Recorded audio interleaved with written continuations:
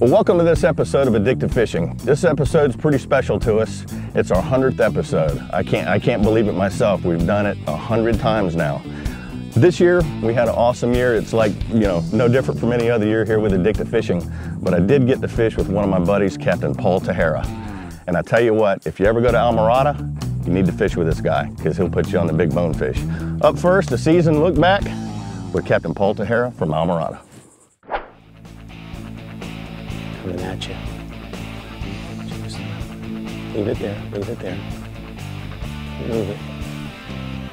Don't move your line because it'll spook you. Come on, baby. You either got him or you don't.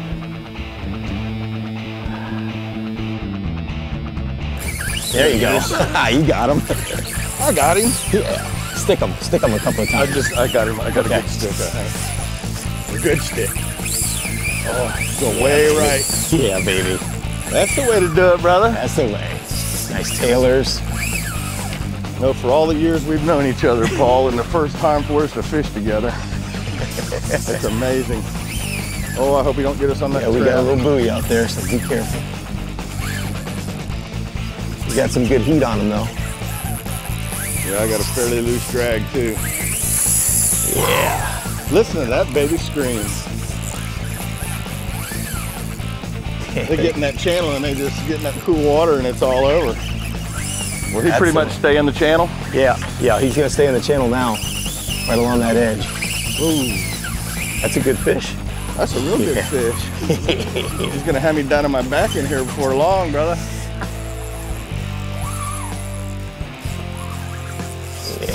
I could feel him sitting there chewing on it. I didn't Right. know whether to move it or not because you move that line and Yeah, you could spook them just by moving the line sometimes. They're so sensitive. well, this is that this is the smooth cast fins and it kind of matches the exact watercolor here. So hopefully it disappears like that Seaguar does. I noticed that it's almost like a camo. Yeah. Matches this It's a shallow water camo. shallow water camo line. Yeah, change the name. He had a little bit of a little bit of line out there, bro. yeah, he man. did. Yep, I see him down there. Oh, oh boy, you are gonna be happy with this one, Look son. at that bonefish. You are gonna be happy with this one. Yeah, yeah, I got my first look at him right there. You're gonna be super happy on I this one. just by his head shake, he's a big fish. Yeah. Just keep him under control. Just keep him right in front of you. That's it. I'll do my best. Keep this one running. I, I, you had to go and say that. Now I'm shaking. Put a little bit of pressure on my buddy. Shaking like a leaf. Okay, so you got the biggest bonefish you get on the end of your line. And what do you do after that, Paul? Well, you want to make sure there's no obstacles in the way for one thing, because if they are, like some of these buoys, Yeah. you're gonna have to let let some slack in your line and just uh, let them run around it. Look at the size of that bonefish. Here, he's gonna be beauty. You'll see. Oh, he's hooked right in the side of the mouth. Look at that bonefish, brother. Yeah, That's my biggest. That's an Islamorada bony. That's a Alm- that's a downtown downtown. bonefish. You better believe it. That is a true Mogan bonefish there, you got your Mogan bonefish. Look at that. There's so much like a tarpon. It looks like they're chiseled out of like a piece of ice. Oh, baby. Look at the size. What do you think? Yes, baby. Show him to that camera. Yeah. now that's a bonefish right there, Islamorada style. That is an awesome. Me. Yeah, baby. That is called a drag screamer right there. An absolute drag screamer. Oh, lordy, lordy, lordy. These fish will make you shake. What, like a leaf in March when the wind's blowing hard, baby? Set him back in Yeah. Yeah. there. He's so good. Were you gonna stick a tag in him? Yeah. All right, here, I'll get your kit. That is a fish and a half, bro. Yeah, baby. Bonefish downtown. All right, I'm gonna let you do this. All right. I'll hold the fish and you do Yep. it since you're. Yeah, you can hold his tail right there. I'll get that hook out too. All we do is lift up a scale here, right next to the dorsal.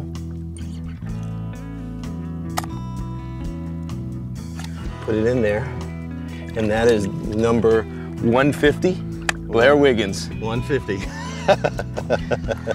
like my 150 pound tarpon I caught from down That here. fish is yours. You own it. That tag will let somebody know what phone number they can call and uh, trace that fish to where we caught it. So some of the fish have been caught 75 miles away. Some have been caught across the Gulf Stream in the Bahamas. Out. So do I get to release him? Yeah, of course you do. It's your Mogan bonefish, It's buddy. my Mo- Mogan bonefish. Anytime. yeah, he's ready. See you later, buddy. Yeah. That, Look at that size on. Look at that girth. that is awesome. Was that a killer bonefish or what? If y'all ever get the chance to go down and fish with Captain Paul Tejera and Islamorada, do it. I've waited 10 years to do it, and I, you can't describe what it's like catching a bonefish if you've never caught one. So get down there and see if you can catch one in Islamorada with Captain Paul. Y'all stay tuned. We got some more highlights coming up, and what everybody's been asking for for years, some more bloopers. So y'all stay tuned. We'll be right back with some more addictive fishing. Let's go then. The heck? It's Kobe. It's a whole school of cobia. Drop, drop, drop, drop, drop, drop. Coming, I'm coming, Holy I'm coming. moly. Look at all the cobia, brother. Well, welcome back to the 100th episode here on Addictive Fishing. This show, we're taking a look back at the highlights from this season. And I tell you what, it was one of the best seasons we've ever had. Shot in HD, everything looks great. We were Captain Jim Ross off the Space Coast, and I tell you what, little story about me and Captain Jim. Every time the Cobia are in town, we can never seem to get even a still camera on the boat. But this time, the Cobia were in town, they were hungry, right off the Space Coast. Cobia-licious. Great show.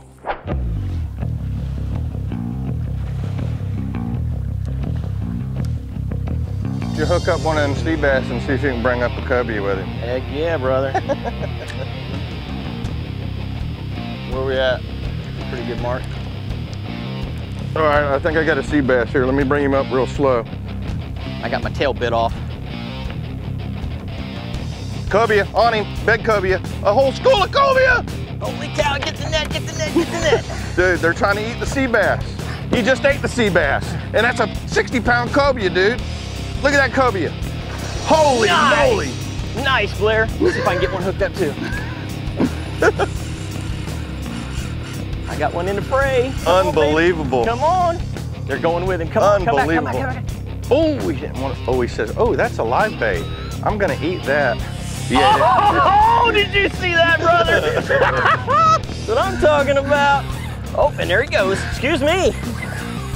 Pandemonium, baby, pandemonium. This is a monster. I had about a 12 inch sea bass on this and he came up and slurped it. you ever have clients that sometimes uh, you get so excited that you got a sea bass and you bring it up away from the cobia, you don't let him eat it, but that's what I did. I just dropped it right back down in that and kaboom! What you got there, Jim? Nice. You got one of the big brown ones? Oh yeah, baby. Look at that leap. Hey, Jimmy, Yes, sir. I think I'd call this one a grown one here. That's full. That's a full grown one there. It's a full grown. This one should be up in Destin. Is a monster. When they eat a 12 inch sea bass, you know they're big. I got this one. This is the baby of the bunch, I think, but he was the only one that didn't go back down after yours. I know there was what, eight of them there? Unbelievable. See what I was saying? Just like I was saying, if you hook a little fish, bring the little fish up and the whole school of cobia, if they're there, come up with them. I'm using my eight foot Wright McGill Signature Series, same one I use for tarpon on the west coast, tarpon on the east coast, and now cobia on the east coast. Oh, and he spit the jig. He spit the jig right at the last. Right at Oh, the well. last. Wore a hole in him. Let's see if I can get him to hit it again. Where do you think you're at, Louis? Bear jig head. I threw a top water plug at him one time, Yeah. and the fish ate it. Fought him for like two minutes. He spit the plug. It came out of his mouth. I twitched it three times. He ran back up and ate it again. I'm like, that's a dumb fish. That's Well- the kind I like. Everybody remembers that show that me and you did in Mosquito Lagoon. Oh yeah, the redfish. With a red hooked fish? him. Yep, he ate the spoon and I set the hook and broke the line and turned around and cast that silver spoon back at him and he ate it. Woo! This dude's giving me a workout. That's probably my biggest cobia from Space Coast, I tell you. Blair, you want me to clear that trolling motor out of the way? Yeah, if you would, because he's standing right up in front here. There's color. Woo! God, is he big. He's a monster. Oh, this is a monster. Look at this fish down there, guys. Look at that cobia. Woo! Doggy. He's hooked good too, Jimmy. Here he comes. Ready? I got it. Nice! Yeah. That's it, baby. Yeah, I'll give you a hand. That's what I'm That's a talking about. cobia and a half there. Ready? Woo. Go. Bring him in the boat. Nice. Cobia-licious. What else can you say about a cobia other than that it's probably one of the best eating fish that comes out of the ocean? If y'all ever get a chance to come down here to the Space Coast and fish with Captain Jim, you've seen him before in the shows. He's put us on fish every single time we've been with him. But uh, up next, y'all stick around. We're going to be with Captain Billy Henderson over in Homosassa. Y'all stay tuned. More addictive fishing coming right back. Let's go then. They don't call them the Silver Kings for nothing, baby. I ain't never seen one do that. Crazy. He is going eight nuts. Well, welcome back to the season finale of Addictive Fishing right here. Also happens to be our 100th episode. And we got a call from Captain Billy Henderson out of Homosassa. And that's all you really got to say when it comes to Homosassa, Crystal River area, is Captain Billy Henderson. The man knows his stuff when it comes to fishing there. Up next, highlights from Nuclear Tarpon. Let me give you something over there to eat, big boy. Nice, fat, tasty little plastic mullet. Oh, there he is! Missed Oh God, big one too. Holy cow. oh, he missed it, he missed Come it. Come off. Oh, dude, did you see the size of that thing? His whole side lit up like a tree, like a spotlight. God almighty. Woo! That was a stud right there now. stud now. That was a stud. Ooh, there he is. Fish on, brother. Got him? Yep. Nice, nice, nice. Oh, baby. Good God, he's going nuts, ain't he? He don't like that thing in his mouth, does he? Check him out. He's going bonkers. They don't call him the Silver King for nothing, baby. I ain't never seen one do that. Man, he is absolutely going crazy. He is going eight nuts. He's acting like he got a shark after him, but you know that ain't the case because he just hooked up.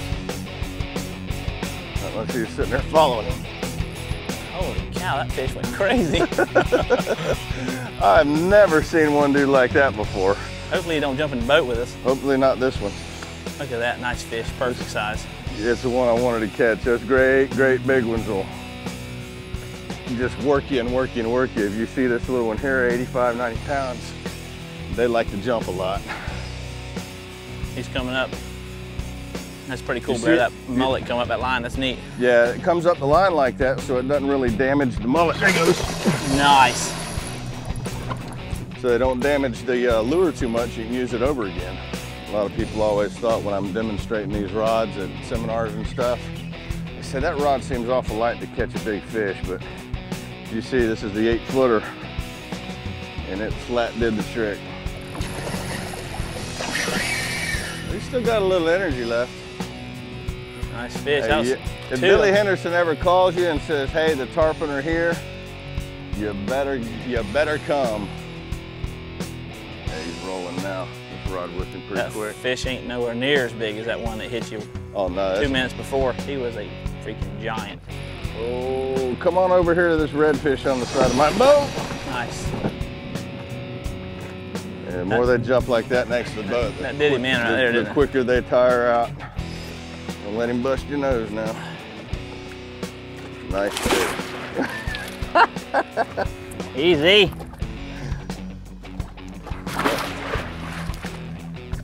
How many people you know got their nose broke from these fish? I know a few that's got whacked in the face. That's why I, see me throw my hands up, and if he hits me, he'll go away. You got an 80 pound leader there, so it's pretty tough. You got him? You want him? Yeah, I'll see, I'll see if I can get him. Those pliers in there? It's over here on this outside. Oh, okay. Look at that, look at that chiseled head on that fish. Ooh! I ain't got gloves on. You want them? All right, I got hooks right on the side. Yeah. Better get your hand on him good. All right, pop that hook. Ah, clear. Clear, clear, clear. All right, this will probably be able to go over from right here. These fish here, they have the olfactory glands right here, and that's just like our nostrils. That's what they use to smell. And uh, you'll hear about people chumming for tarpon, and they'll go, they'll smell the chum and come right up the line. But and look at that face. That is a beautiful fish. Uh, you wonder why they people target them so much. You just saw why. This guy just jumped and absolutely went nuts. Was that some awesome tarpon fishing or what? Catching them on the spinning rod? And no matter, you know, whether you're using DOAs or MirrOlures, Captain Billy says it might take you a million casts, but if you keep casting, you're gonna catch a fish. Up next, some bloopers from the 100th episode, which is also the season finale of Addictive Fishing. Y'all stay tuned, we'll be right back. Let's go then. And uh, we were with Captain Jim Ross right over the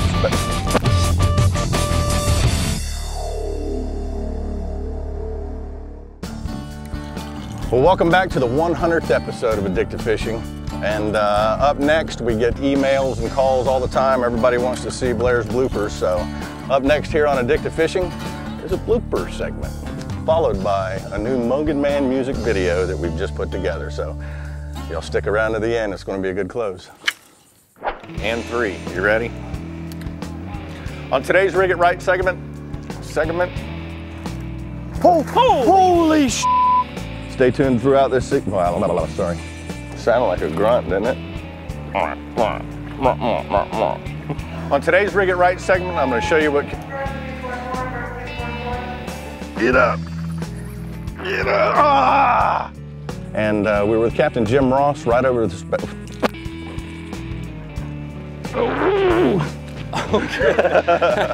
Well, welcome back to the season finale, also the 100th episode of Dick.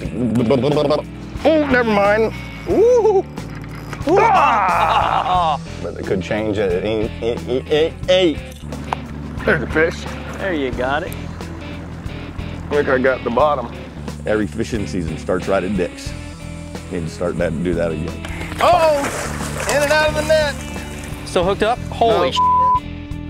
That's all darn. It's one of the best eating fish that come out of the. Uh, uh, Daddy ho! That one's for Alan. And I tell you what, this season was like no other. Uh, blooper. oh my god. On today's Rig It Right segment, I'm going to show you what we're. Going this way. Now, another thing I want to talk about is the new duo. Deep, in the oh, he's in the boat! Those fish are feared of him. And that sucked. That is addictive fishing right there, brother.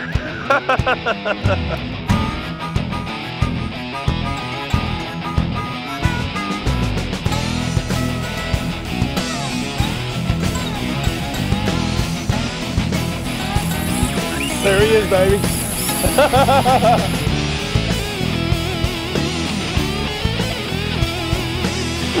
Got him, buddy. Got him.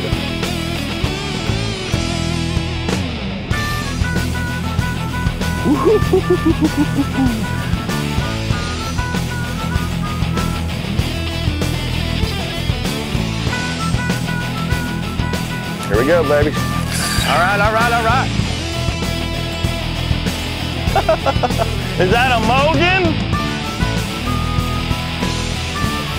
Fish on, brother. Yep. Yeah, baby, nice.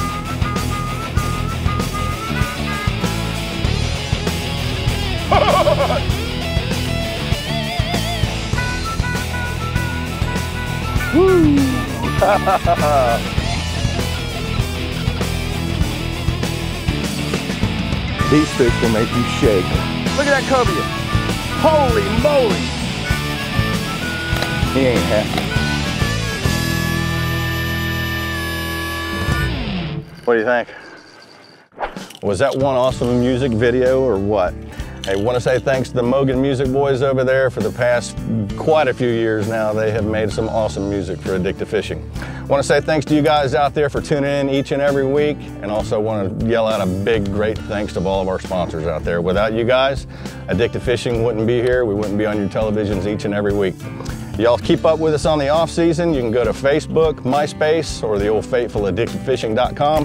You can download the mu- music video there, and uh, we'll see y'all next season. Check out more footage from this show by logging on to addictivefishing.com for outtakes and bloopers.